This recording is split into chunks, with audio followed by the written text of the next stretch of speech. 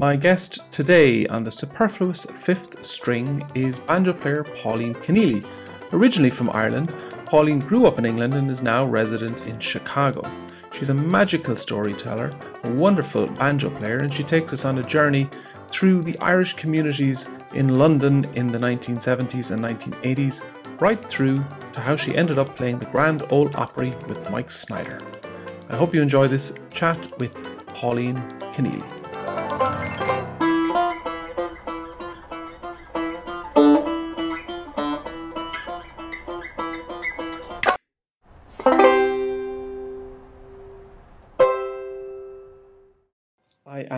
Delighted to introduce uh, one of my favourite banjo players, uh, Pauline Conneely, who now resides in Chicago. But where are you from originally, Pauline? Well, hello there, Enda and it's a pleasure to be with you today after all this downtime of no facial um, music people that I love to be with. Anyway, so uh, I come from originally a little place uh, 40 miles north of London called Bedford, Bedford Town. My parents immigrated there in the early 60s. Immigrated from where? My father is uh, a Connemara man from a little village called Errislannan, right near Ballyconneely, and my mother came from County Longford, uh, Edgeworthstown. She was born in, but she was raised in Newtown, Forbes. And did, did did they bring the music with them? Was that where you got into Irish music? Yes, I was lucky enough. Both parents absolutely loved music, and my mother didn't play, but she could lilt and whistle every tune. She was a beautiful dancer, but she was music crazy. And so it was her influence really that got us all playing. Yeah, because your whole family plays. I mean, quite famously, uh, your brother Mick, uh, wonderful fiddle and bouzouki player, and you have a sister who plays as well. And maybe there's more, is there? I have an oldest. So the oldest girl is Bernadette, and she's banjo. And do you know Bernadette? No. Yeah, yeah, yeah. And then Kathleen plays the whistle, and then Mick's fiddle, and I'm banjo. So four of us, yes. So uh, that must have been a serious clatter in Bedford back in the.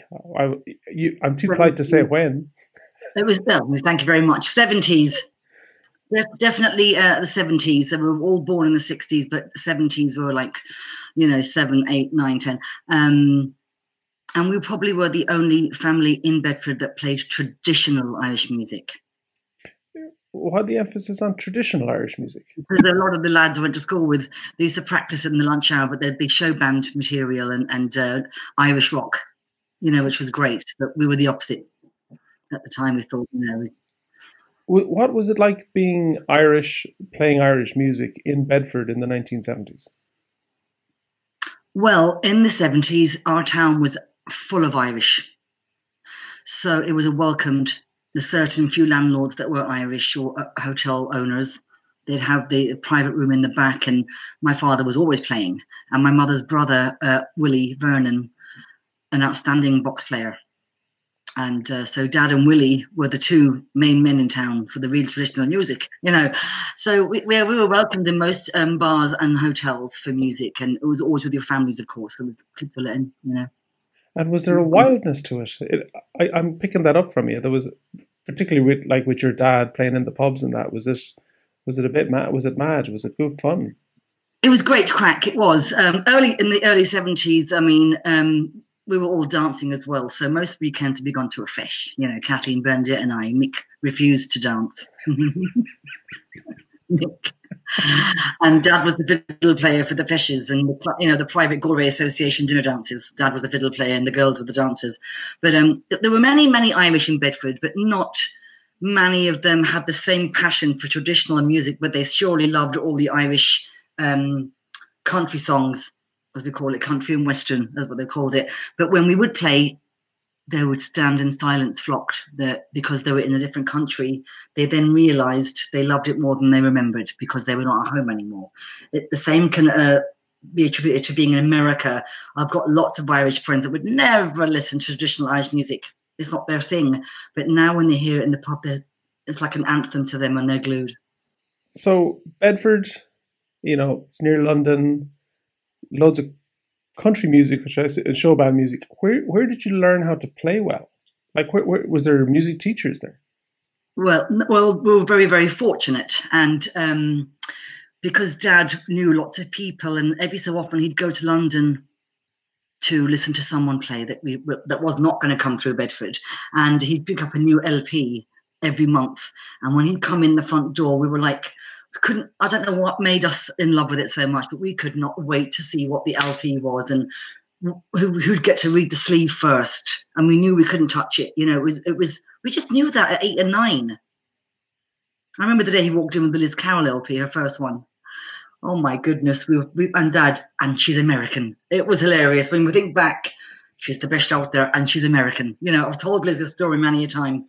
Um, but uh, so teacher-wise, because we had lots of influence from our home, we we um, and that's the Catskills. Would you believe that? Of all times to call me, um, because we had lots of influence from my mother and father at home. He, my father never watched TV. He played in the kitchen every night.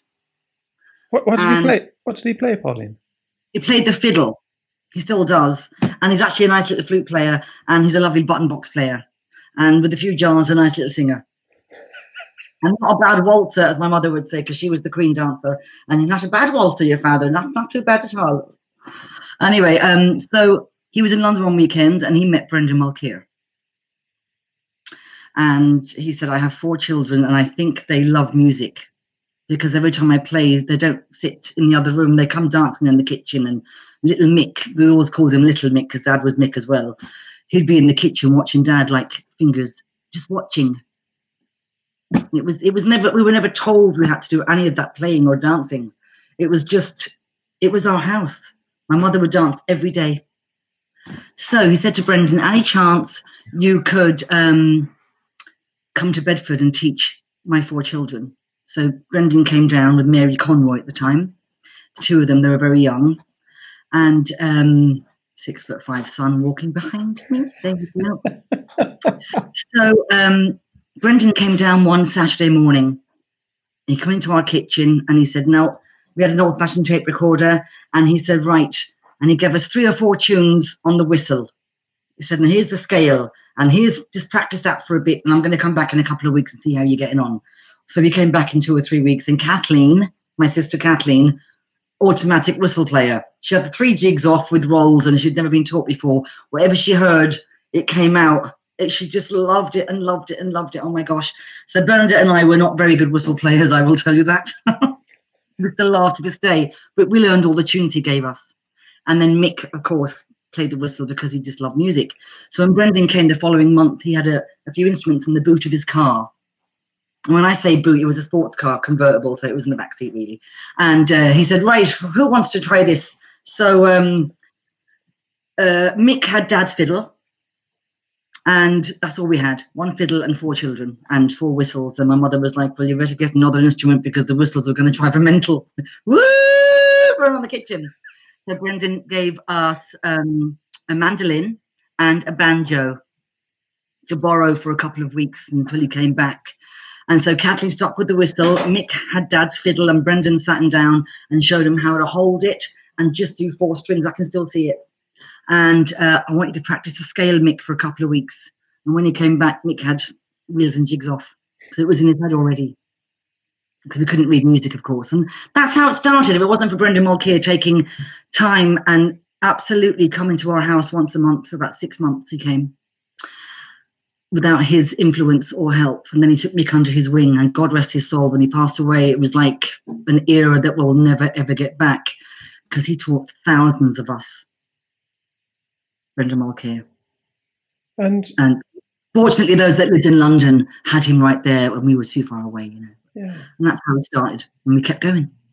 So the the banjo is a very technical instrument. I think that it's quite a difficult instrument. He wasn't a banjo player, so like, where did you get technique from? Did you did, did it just happen? Oh, Brendan would play the banjo and he'd say, This is exactly what you need in ornamentation. So, for an instance, and he'd play nice and steady, and he'd say, What do you like? And I said, I like the banjo, you know.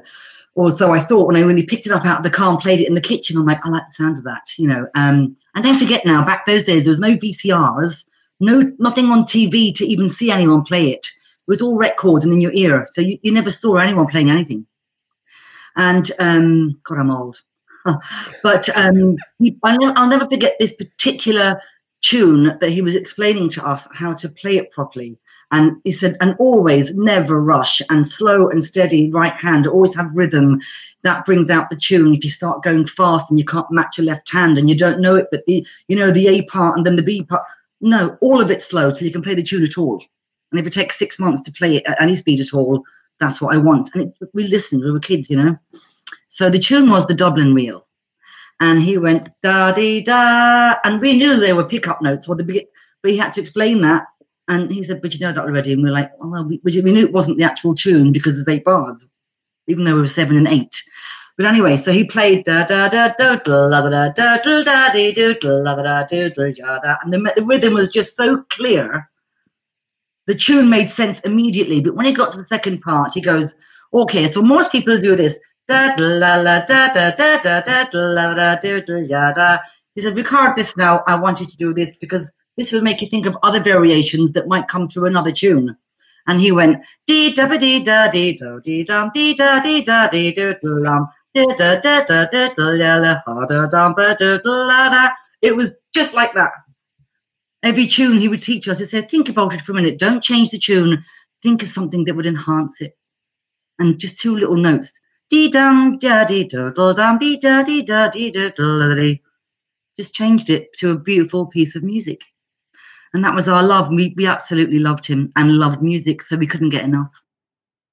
And that's where our style comes from, and it's Brendan Mulcahy. But of course, every single day my mother would have a record on and we'd skip in through the alleyway. And she said, Who's that? So we had to decide was it Paddy Killoran? was it James Morrison? Was it Michael Coleman? We had to guess. Was Jimmy Killip? We had to guess. Brendan McGlinchey. And she said, um, don't tell me yet now, listen good. And that's how we learned from the age of six, seven, and eight which fiddle player with what style is who. That'd make a, a great album title. Don't tell me yet, now listen good. Yeah, don't tell me yet, just listen. You know, it was great. And she, you know, dot, dot, dot. And then she'd swing into a Margo number. There is always a fire or something country and we'd be driving in the kitchen everything.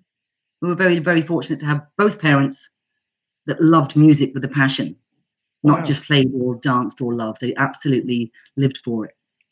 So, when you became a teenager, then was there a pressure on you to not play when, you know, being a teenage girl and all the different bits and pieces socially and with other girls and all that kind of stuff? Was that an issue, or did you just not care and keep playing, or was it part of the identity of who you were at the time?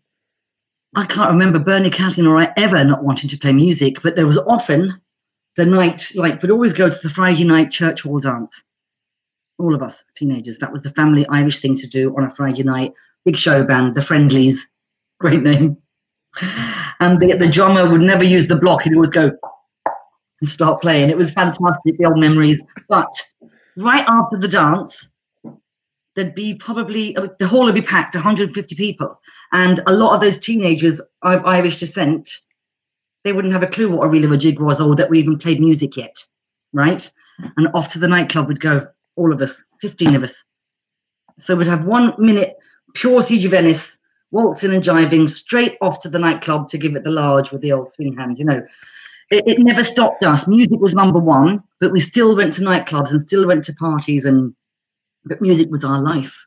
And most weekends, we were very fortunate at early teenage life to have a brother, thankfully, because he met all these wonderful lads. Joe Malloy, Kevin Crawford, Brendan Boyle, Ivan Milicic, Kevin and Des Hurley. I mean, I, I could go on. And he was going down to Birmingham most weekends, Mick was. Until one day they said, Mick, do you have any family? And he didn't want to tell them he had three sisters because he thought the minute I bring three sisters into this equation, my music life's over because they're going to fancy them or the girls are going to fancy them. And that was the big joke. So Mick never told them he had sisters. Honestly, God. So we all ended up going to Birmingham one weekend and that was our life changed. Our life changed. The music was outstanding. Patsy Maloney, um, the Malloys, Paddy and Paddy and Emma came from a little village called Cashel in Galway, Connemara. And um, they had a three-story house in Birmingham in Sparkhill. And upstairs were the girls and downstairs were the boys every weekend, apart from when they came to our house in Bedford. Girls up, boys down. Mum would squeeze about 15 people in, just all musicians, from all over. Great. She'd cook breakfast for everyone, so would Mrs. Malloy. We didn't need nightclubs and friends that didn't accept that we played music because our real friends were right there. It sounds like a non-stop uh, Fleadh Cheoil. You wouldn't believe my house. My oh my God, rest my mother. Oh, and Anne Malloy, God rest her as well. She would accept, uh, welcome all of us. And every um, every Friday, Saturday, it was 24 hours of music. Off to the nightclub, the Acafez, back to the Malloys, and we were always safe because we had so many male guards round us. You know what I mean? Um, we were all best best friends. We used to go to uh, the Fleadh Cheoil together, the Willie Clancy together. There was 19 of us in a room once in the Willie Clancy week. I'll never forget it. so, did you go back and over to Ireland very often then? No, it was very expensive. My parents didn't have that kind of money. We didn't have instruments yet. Don't forget that they were borrowed. And um, the honest truth is, I think I was oh, six or seven. I was dancing, and Mum won bingo, I think. And the next day, we all went to Ireland. The next wow. day, yeah, that was it. Because we, we, were going to meet my parents if it kills me. Because not everyone had a con a contractor dad or a. Some of them were just simple labourers that never really made it off that path. But music kept them going. Do you know what I mean? Wow. So when mm. did you get your first banjo? My sister Bernadette actually, when she moved to Dublin, found me a little banjo. When she left home, I had no instrument. You know, I used to cry all the time. It was awful. I missed them. Bernie and Kathleen moved to Ireland and I was still at school. But um, she came back one weekend with a little banjo and there wasn't even a name on it. I don't even know where she got it from. It was just something to um, play around on. And uh, I bought myself my first banjo when I came to America at 21. Wow. So you're 21 and you moved to America. How did that yes. come about? I was a dancer. Believe that or not. I was an Irish dancer in, in England, and um, they chose me to represent Ireland on one of those Comhaltas tours back in 1988 when I was 20. And um, I did a couple of English tours, and, and then they asked me to go to America. And by golly, when I got off that plane and entered my first concert hall in New York, I knew my heart and soul I think America's for me. Just like that. I just knew the people I met, the music, but I didn't know where I was going to live in America. So of course we travelled to all those different states with the, with the tour. But um, one night, and this is what made my decision to come back, and I chose Chicago. I was 20 and I was having a, well, I should have been 21, but you can have a beer at 18 at home. So we're having a beer in a Chicago in a bar called the Abbey, which I'm thinking you might remember maybe not. And um, it was our night off. Um, so the Abbey Bar was run by a Clare man and a Mayo woman, husband and wife, Bridget and Tom Looney, and they always had traditional music in there. So we were told, and tonight there's going to be traditional music, but it wasn't advertised too. And when I walked in the door, I nearly had a heart attack. Who was playing? Liz Carroll and Marty Fahey on the piano. I thought I was in a dream world because all I ever saw was the album cover where she's sitting on the piano like that. And he had hair then.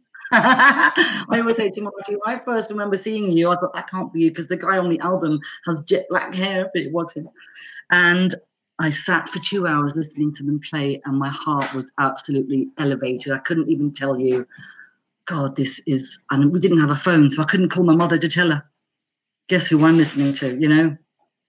So that's why I chose Chicago. I knew there'd be great people, great music. And sure enough, every weekend, I didn't know anybody. I just came by myself. But um, I went to the Irish Centre and went to every ceilidh to meet all the young and old, to see who they were.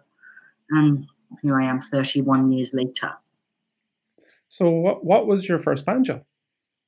My first banjo was a 1926 Gibson Mastertone. It's a good starting point. Yes, it was beautiful, and um, it was four hundred dollars back in nineteen eighty nine, and I didn't have four hundred dollars. So the guy who sold it to me from his five it was a five string banjo shop. That was the only four string he had, and um, it was it wasn't in bad shape. I had to get the neck fixed, but it was it was a nice little sound. I had to pay fifty bucks a week. But every Saturday morning, I'd go into his store and I would sit in the back room, headphones on, and plug it in and play for three hours because I didn't have anything to play. And um, on the fourth week, I was only two hundred dollars in now. Don't forget, I still owed another two hundred. He said, "I trust you, and I know you'll come back with the payment. Take it home. I can't bear to see you sit there and then leave it." I said, "Are you sure you can trust me? I'll leave you my driver's license." He said, "I know where you live. Don't worry." And I came back every Saturday, and for 20 years, I bought my strings, my plectrums, anything I needed for my banjo from him as a thank you. He was very kind to do that for me. Wow. Do you, what, what shop was that? Hog Eye Music on the south side of Chicago. That's a great story. Yeah, it's real, true story. Yeah. Do you still do you still have that banjo? Do you know I actually sold it uh, a year ago because I have a Dave Boyle and I've got my lovely um, uh, menu ohm. So I, I, didn't see the need for three. My children don't play, so I thought, uh, and there was a young girl in Chicago who's banjo mad, and she really wanted to find a banjo. And I said, you know what? I have one. No point getting dust. She's a gorgeous little player, great kid. Let someone else get some love out of it. I assume you sold it for more than four hundred dollars. I did, yes. Yeah.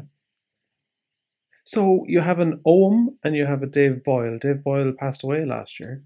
I know. I never met the man. I never met him, but my sister Bernadette was a great friend, and that that Dave Boyle was a wedding gift from my family, from my father and sisters and brother. Wow.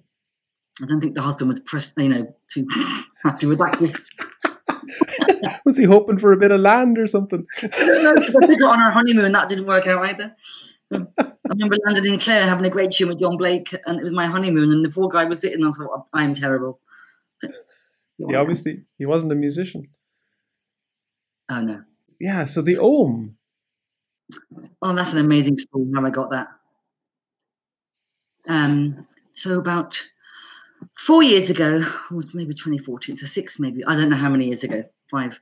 I was asked to teach at this beautiful camp in. Um, just outside Nashville called Pegram. And it is the Fiddle and Pick beautiful music store owned by Tim and Gretchen, Gretchen Priest and Tim May. Tim May is an amazing songwriter, guitarist, uh, Grammy nominee. He's a great, great man and makes the most beautiful instruments. And his wife, Gretchen, um, is a lovely fiddle player, old timey and Irish, and singer. So they hired me to teach uh, this four day camp. So uh, I got this email about four weeks before the camp asking, um, Hey, Pauline, my name is Mike. I'm going to be in your class.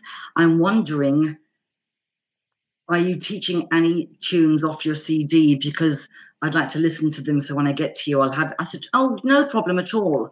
Um, oh, sorry, I'm lying. Sorry. He said, I see all you on YouTube. I want to know where to get the uh, uh, CD from. And I said, I can mail you one. He said, so my website wasn't up yet. And um, he said, no, no, no, no. I said, listen, you're coming to my class. Absolutely no problem. I just mailed it to him, the CD. Very, very nice guy. Turn, he turns up at the class the morning we start teaching, and he's got an ohm banjo. And I asked everyone to play a tune so I know where everyone's at. And he played a tune. I'm like, bloody hell, he doesn't need to be here at all. He's a great musician. Whoever this fuck is, you know, who the hell is he? And uh, it was great. I said, that's really lovely banjo playing. So I spent the whole morning with these other three people. And um, I said, you know what, the class is going to be over, but you and I are going to spend the whole lunch hour. I don't need to eat. I said, because you're not getting your worth because they're way behind you. Do you know what I mean? It wasn't fair. He said, you don't have to do that. I said, I do. I said, because you're the guy who emailed me, right? He said, I am. So we spent the whole lunch hour together. And the afternoon, I then spent with him and the others, watched a bit because they were learning a lot from him, him being able to play, blah, blah, blah, blah. The next thing, um, the end of the day is there. And he says, Pauline, come over here and sit with me and play a tune on the bench outside the fiddle and pick. Great. So I started playing um, a tune and he took, out, he took out his five string banjo and started backing, and it was just gorgeous. And I said, Oh my God, this is beautiful. I wish I knew you before I made me CD, whatever. So, anyway, it turns out he says, Come on, get in the car. And I said, Well, where are we going? He said, I'd like you to open the Grand Ole Opry for me tonight. And I'm like, Oh, whatever. Uh, yeah, I thought he was taking the mic because he had a pair of overalls on, chewing tobacco and a baseball hat, gentleman. And I said, I can't even leave the camp. But first of all, I don't know who you are. You could be a weird old man who puts me in a car. I'm sorry, I can't go. And he starts laughing. And with that, Gretchen Priest comes down the corner. She goes, Did I hear right? Mike just asked you to go to the Opry and you won't get in the car because you don't know who he is. She goes, God damn girl, get in that car. Uh, it's okay. I'll cover for you tonight. I said, Who is he? She's like, You'll find out soon enough. I had no idea it was Mike Snider, the one and only. So Mike's laughing all the way in the car to the Grand Ole Opry, and I'm still thinking, I'm not really going to the Opry. I was. Back door, passed in.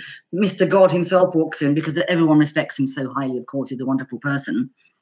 And anyway, we sat in the changing rooms and we, we rehearsed for 10 minutes and opened the first half, opened the second half. Crystal Gayle, uh, Charlie Daniels. Um, he then flew me uh, a few months later to open for Vince Gill and um, who was the other person? I can't remember. Oh my god, I've gone blank.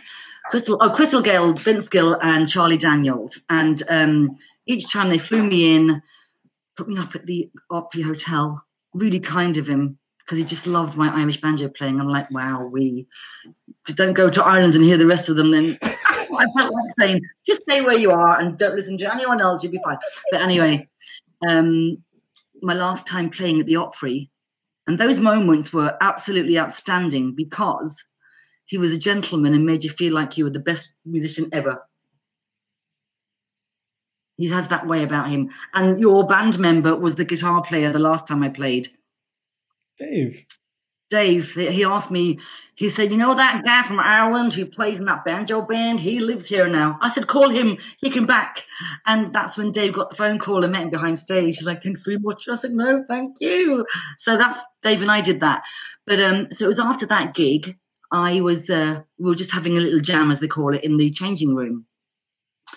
And Vince Gill was at the door. Oh my gosh, it was amazing. Hi, Vince. I mean, well, I love him. And, uh, he said, Wow, wham, wham, that band your hand right there. You got a nice rhythm going on there. I'm like, It was lovely, you know. So Mike then said to me, Pauline, I think, I really think this banjo belongs in your hands.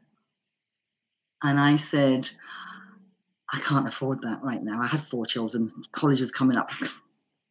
And he says, I'm going to hold on to it for you. Take as long as you need to save up and he gave me the price, which was way, way, way less than what he paid for it. And I had it um, nine months later. I saved and saved and saved all my gig money, like a child with four children. But they should have come first. But this was a very special. Um, who gets offered that? And who, who made it? I don't know who actually makes the Ohm banjo. I should Google it and read up myself, shouldn't I? Have, have yeah. you got it close by? I do, yeah. I've got to stand up slowly. Hold on. Give us a look.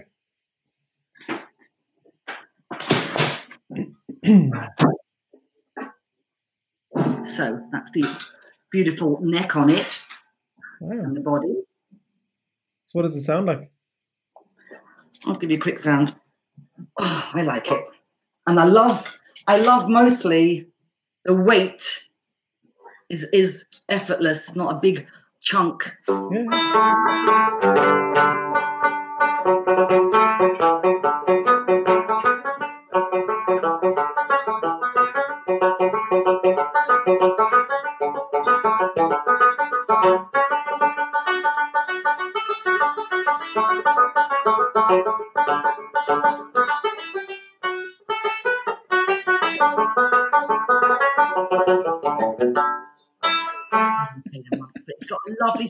To it. It sounds wonderful. Anyway, so yes, I love it, and so um, he mailed it to me, and we talk. We talk now and again, and uh, when things are when things are good, that Pauline, you're welcome at the Opry anytime. You call me and just say, "How does next weekend sound?" And I'll say, "There's a slot for you." I just join them, and I love that. That's amazing. That's an amazing story. So lucky uh, the, the night he introduced me for the first time, he's like, I've got this very special woman here tonight, and she sounds funny when she talks. But what's really funny is her name sounds like a disease Pauline Conneely. He'd never heard a name like that before, you see. He thought it was hilarious. What was it like to play Irish music in the Opry? 4,000 people, and um, they went crazy because everyone loves Irish music, but most people love banjo, as you know that. You, you've experienced that trifold, you know. Um, it was great. And he would say to me, I want you to play a tune in A minor and then D. And when you change into the D tune, the mandolin's going to come in, the upright bass is going to come in, the two country fiddlers are going to come in. Oh my God, it was fantastic. It was it was amazing. But I need to go, I need to buy the backstrap you have from okay. next Opry appearance because I'm not going to sit down like I always do. Yeah. But uh, yeah, it, it, was an amazing feeling, and uh, he puts you right there. You're playing, and there's nine people right behind you. Uh, he's just a gentleman, and he speaks so highly of all of his band members and the crew. Oh, the crew were amazing. That was an eye opener. I walked on, and in seconds, six people, chair, cable, brother, brother, brother, but down, sound check out. I didn't, take two minutes. It was amazing. Yeah, blew my mind. We had, we had a, a celebratory um, bourbon shot. I don't do bourbon or shots or whiskey or anything like that. Glass of wine is it. And he said, You're going to have to have one of these with right here now because it's just a celebratory shot, the first Irish banjo on the stage. Come on. And we, uh, it was just mind blowing that they were so gentlemanly and kind and loved yeah. Irish music. Wonderful. So, did you uh, did you play a lot in Chicago? Did you do a lot of gigs? Um, I have played a lot over the years. I have played a lot, but you know, even in Chicago, the trad music isn't high up as the um, Irish rock would be. So most bars want the drum kit, the you know the beautiful songs that I don't play. I mean, I can play along with, but I wouldn't get a gig for that. Do you know what I mean? The two people giggers, keyboards, and the singer. Yeah. Yeah. So I've played a lot, uh, but mostly out of town, actually. A lot um, out of Chicago. When when did you bring out your album? 2016. I um I actually wasn't I didn't know what I was going to do, but you know, when you do all these festivals and you get all these little uh, weekend shop workshops and the Catskills and, and, the, and the Seattle camps and all over the place, and I was the only one that didn't have something to sell, and they kept saying, "Pauline, please make something. We need to promote it. And I need a bio, and I need this." And I thought, I'm heavily bogged down with four children right now. I haven't got time to do any of that because they come first, and school is very important, etc., etc. So this is no word of a lie. Um, the children went away for a week. Uh, I didn't know they were going, like till a week beforehand with them, their, their dad. And uh, uh, I called my dad and I said, Dad, I'm going to come home to you for a week because I'm by myself. I can just fly and go. I said, but I'll be there for like four days and I'm thinking I'm going to cut a few tracks But just so if you hear that I'm in Ireland, I am coming to you, but I'm doing something before I get to you. Because you know the way you land home, where is she? I'm somewhere else for four days. Well, I was in Colm Gannon's kitchen in Connemara, in Drim, and John Blake and John Carty, God love them. I called them four days before and I said, Is there any chance you could help me out? And they said, No problem. So I went to Colm Gannon's kitchen and I just played what was in my head at that time. And 10 tracks were done in Colm's kitchen in one day. As you can tell by the album, I just had to do it, and this was my only ever chance that wasn't going to cost me thousands of dollars for one in a studio in Chicago. And John Blake doesn't live here, and you know what I mean. So, my brother doesn't live here, so it would have been expensive tracking and double tracking. So I said, you know what, I'm just going to do it, and let's get going. So I did it in a couple of days. And that's exactly how I made the album. And John Blake was extremely gracious and cost effective and so John Carty helped with the couple of sets. It, it was great. I was very lucky. Yeah. Will you do another one? Oh, when the kids go to college, I might consider that. I've got another six months and all four will be gone. The twins are now 18, so they'll be going to Manhattan and to Wisconsin in August. Wow. So you'll have all of this time to fly up and down to Nashville to play in the Opry once a year is good. Just as long as I just do it once a year. So, would you consider yourself a banjo nerd in any fashion? A banjo nerd. Um,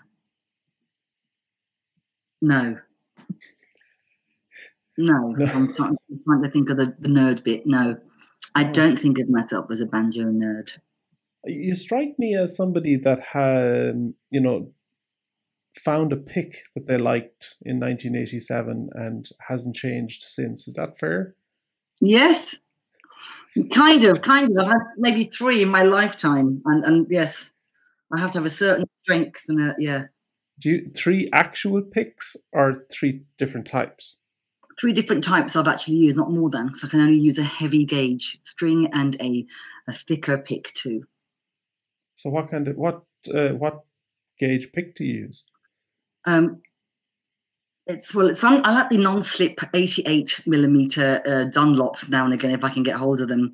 But these little um, USA, these are 80. I can't see without my glasses. 80 millimeters. They're little. I got these in Nashville. That's the best pick I've ever had.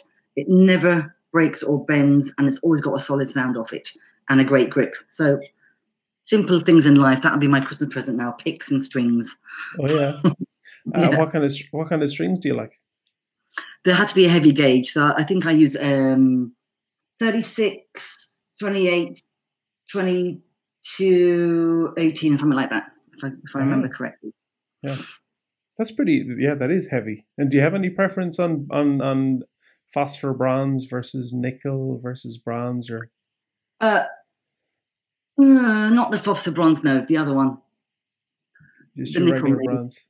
Yeah. Yeah, yeah, regular. So yeah, I'm not. I'm not actually. The but the worst thing about me is, um, I could never fix my own banjo, which is a terrible thing. I could never um fix the post, or if it's out of tune, I've got to send it somewhere rather than have it at home and take it apart. I am no good when it comes to that.